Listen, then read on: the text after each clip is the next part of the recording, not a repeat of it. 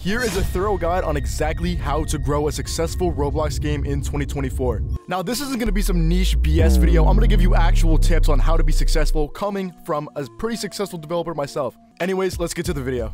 The first, and in my opinion, the most important rule to follow is the game is genuinely well made and fun. Who would want to play a game that is not fun or well made? If your game is full of bugs and it is not fun to play, nobody's going to play it. It's that simple. The way you can overcome this is by extensive bug checking, you know, taking your time with the game, who would have thought, and making your game have a point to it. It should be straightforward enough to where a goddamn toddler could understand how to play it. Now, so you guys understand a little better, I drew up a little example here. Here on the left, we have, you know, a good version of a game. You're shooting somebody, the bullet hits them, and they die. That's how guns should work. Now, on the right here, we have what should not happen when you're shooting somebody and your goddamn bullet deflects and hits you, and you, you know, you're dead, you're gone. That is not how the game should operate at all, unless it's a mechanic in the game. But that's just that's just an example out of many things that could happen that could end up screwing you over. So you need to make sure you extensively check for bugs in your game, because people will not play it otherwise. The second tip is making sure your game is easy to understand. Like I said, a toddler should be able to load up into your damn Roblox game and play it. And this can include well-made guides, instructions, etc. in order to get new players up to speed with existing players. There should not be that steep of a learning curve because nobody will play it.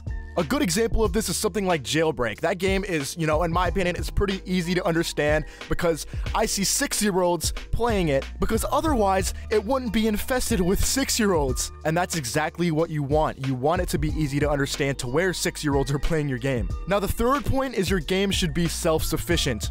And what does this mean, you might ask? Well, self sufficient means the game can run and support itself. The players should be able to do everything within the game, and this also ties in with being bug free, because bugs are only going to prevent players from having fun, and therefore have players leave your game. Now, number four, and honestly, this is more important than any of the other points I've mentioned, is player feedback.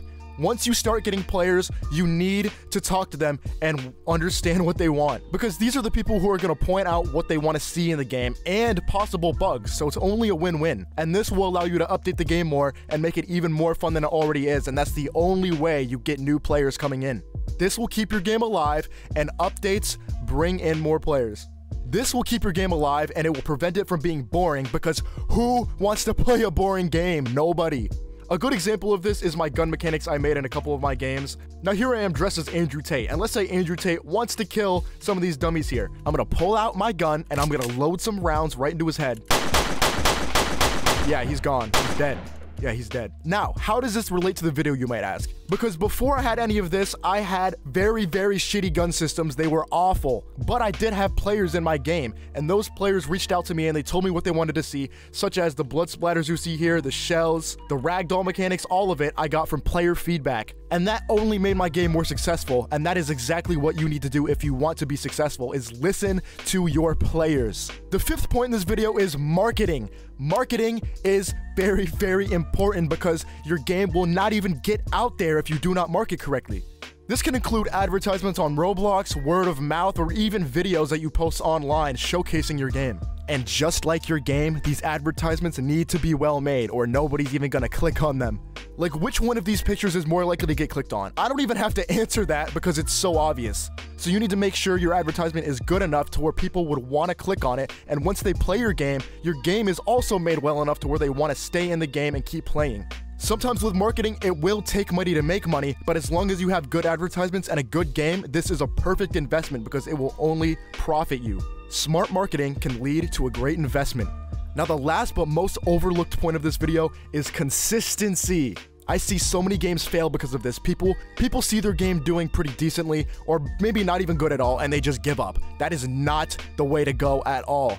This is what separates the successful developers from the failures. I had at least three games before I made my successful Chicago game that flopped. They absolutely flopped. They were horrible. Everything was broken in them, but I kept trying. I took those failures and I took the knowledge from how can I fix this? What can I do to make it better? And I put it into new games until I perfected it. Failure is inevitable. You need to just suck it up, take the failure, and learn from it. Use the failures to improve your skills and make a great, great excellent game. Like I said, this separates the successful people from the failures, and you do not want to be a failure. So stay consistent, keep your willpower up, and I will see you guys in the next video. Mwah. Thanks for watching, and don't forget to like and subscribe.